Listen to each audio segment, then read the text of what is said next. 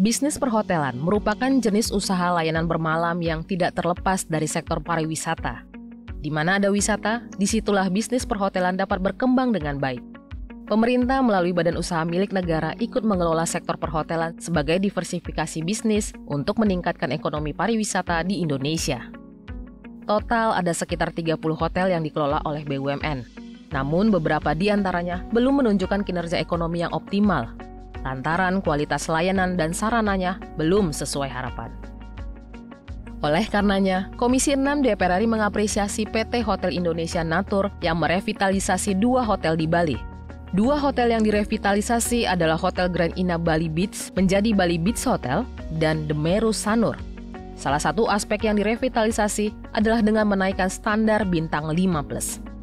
Langkah ini diyakini dapat meningkatkan kualitas hunian hotel serta mendatangkan keuntungan secara optimal.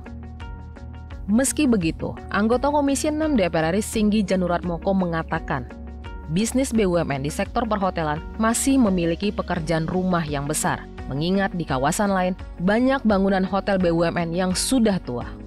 Sehingga membutuhkan renovasi yang cukup besar agar dapat kembali bersaing dengan para kompetitor. Ya, jadi memang banyak-banyak hotel kita itu yang masih tinggalan ya. Misalnya kemarin mungkin yang di Jogja, yang Jogja sudah lumayan, sudah sekarang sudah mulai ada renovasi. Kita harapkan nanti uh, Agustus katanya dibuka. Terutama yang di sini nih, kek sini kek ini Sanur. Nah, Sanur sudah baru sekarang sudah ini hotelnya lumayan sekali baik bintang 5 sudah ber, apa ada sinergis dengan uh, rumah sakit. Nah, harapan kita nanti bisa meningkatkan apa uh, tujuan apa bisa mengalahkan seperti uh, wisata yang kesehatan ya seperti di Penang dan lain-lain. Harapan kita itu jadi dia harus keluar negeri tapi yang penting kualitasnya juga dokternya baik, pelayanannya baik. PT Hotel Indonesia Natur merupakan induk holding BUMN PT Aviata atau Injourney untuk mencapai skala bisnis yang optimal, peran sebagai pemilik dan operator akan dipisah dalam holding hotel BUMN.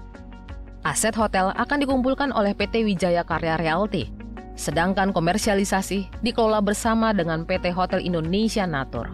Kedua BUMN itu berada dalam satu holding bernama Hotel Indonesia Group.